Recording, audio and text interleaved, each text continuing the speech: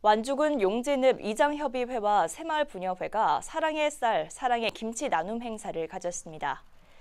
이번에 나눈 쌀은 이장협의회가 지난 6월부터 심고 수확한 1,050만 원 상당의 쌀 3,500kg으로 소외 가정 350세대 전달했습니다. 사랑의 김장김치는 1,000포기 분량으로 400여 세대에게 돌아갔습니다.